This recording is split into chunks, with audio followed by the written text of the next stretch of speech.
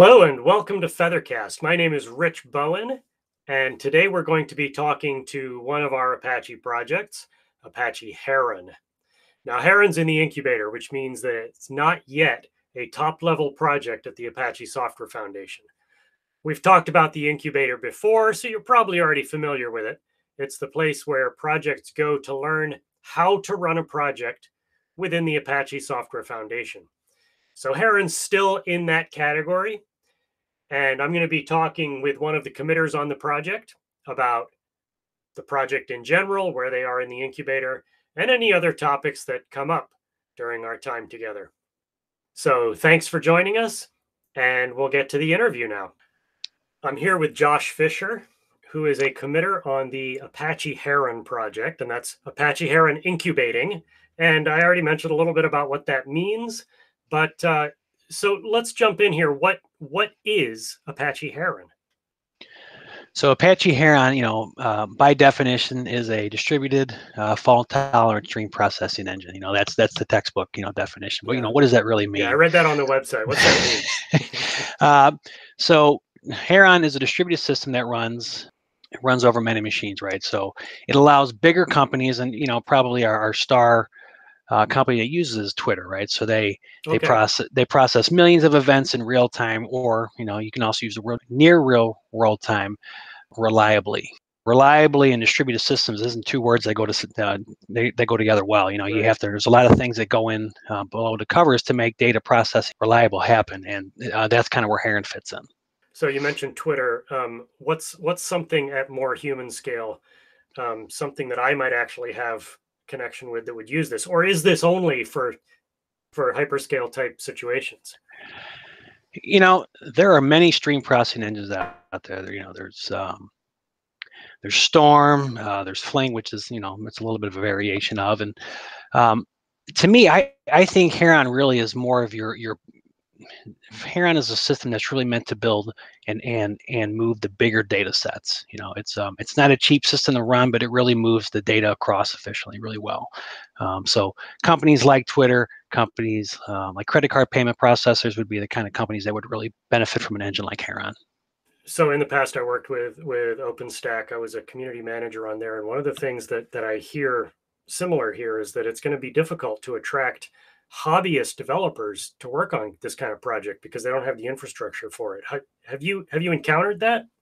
I have. You know, that, that's actually a problem we're facing right now with adoption is that one Heron is was built in a way that it has a plug and play architecture. So there's different like a state manager, there's um there's a log manager, there's all these different parts that you can plug and play. And because of that, it's very hard to manage and operate. Yeah. Um, and so adoption has been challenging because there's only a set of us that really know how to operate yeah. Heron really, really well. Or have the need for it.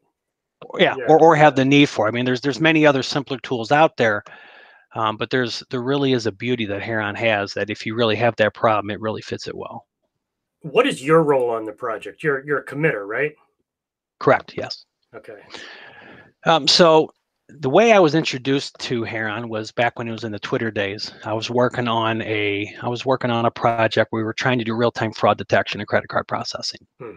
Uh, we had a solution that worked, didn't really work well. It tended to fall over a lot when it hit a lot of load, you know, because um, the system would process um, had the capability of processing, you know, like 50,000 transactions per second. It was, you know, very fast. You know, it was very, you know, data everywhere. You know, trying to make things work uh, efficiently was, you know, you think if you go up and you buy something, you swipe a card, you expect it to come back pretty quickly. So, right. um, so the part I play is probably closer to the community manager.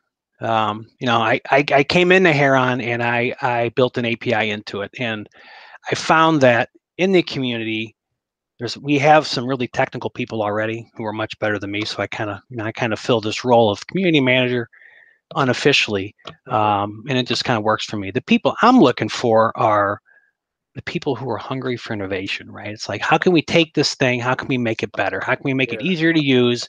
You know how can we really how can we really build the bridge from you know developing to actual deployment? You know there's so many steps along the way to manage this system uh, well that you know there's there's so much work to be done. And you know anybody who has anybody who has the need to you know to get hungry and learn some really cool tech is the people we're looking for.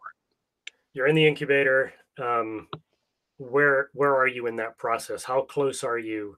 How, how close do you, I mean? It, it's always a bit of a guess guessing game, but how close do you feel you are to becoming a top level project? It has been a long road. Yeah. Um, you know, um, the stage I'd say we're in is nearing graduation. Like I said, there's a set of us that kind of have the core building blocks put together, and some we have scripted, and some we have in our head. And what we're really trying to now is increase adoption, which is you know which is what makes any project succeed or fail, right? So we're we're really trying to make it easy to use, and you know, hopefully within the next few months, uh, you know, depending on time, we're going to try and get this thing out of the incubator, graduated to a TLP. Your most recent release was 20.4, 0.20.4. What's new and what's coming? We have some enhancements that are going to allow us to be a little bit more cloud native. Heron was built uh, with the intention in mind to run on the scheduler Aurora. Okay. Uh, that was supported in house at Twitter. Uh, but you know, as things have evolved over the years, Kubernetes has really taken off, and that's kind of, you know, the that's kind of the infrastructure stack that people are running on these days. yeah. And so we have a decent amount of support for Kubernetes, but it really has some rough edges. So that's that's the kind of work we're looking for right now. Is how do we e- easily deploy deploy Heron and management, allow e- people to use it easily. For me, there's nothing worse than when you get to a project and then you try and use it and it takes you three hours to figure it out. You know, we want to be able to deploy Heron within 30 seconds for somebody. Okay, 30 seconds is probably a jump. But then within a, with, but, but yeah. yeah. within a few minutes to get it, to get it to Yeah. be easily ran. Is there a, a backstory to the name? So a while back, I was doing a, I was putting together a slide deck trying to do a presentation for Heron, and I was doing some research trying to figure out where the name came from.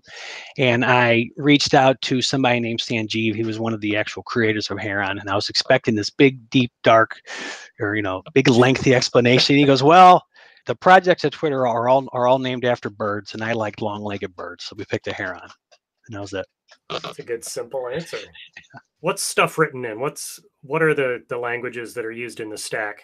But Heron right now, the system is comprised of about three or four. Uh, we have C++ in the mix, Java, Python 3, and then our build tool is all is, is Bazel. So we have all of our stuff managed from a single build tool. So there's some complexity in the build tool as well. But yeah, I think the complexity of the build tool, the complexity of the different languages involved in the project, then you know, kind of raises the bar for contributions as well.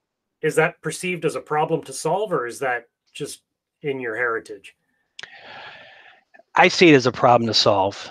It's not a bad problem. It's a good Yeah. problem. It's right. It's Yeah. like, you know, how do, how do we make this better? How do we make it easier? And we've come a long, long way. You know, there's Bazel is a tool that, you know, came from Google uh, some years ago. Heron adopted it from the very low levels when it was first released. And as Bazel's gotten more and more uh, mature, we have to maintain Heron to fit within those, you know, breaking releases. We have a committer, uh, Nick, who's really stepped up in that level and has really taken mastery of managing the build for us. So um, he's trying to make it easier. We're trying to improve all dependencies across the board. So he's it, there's there's a lot of effort there in making it easy to build. Where should we come to talk to you?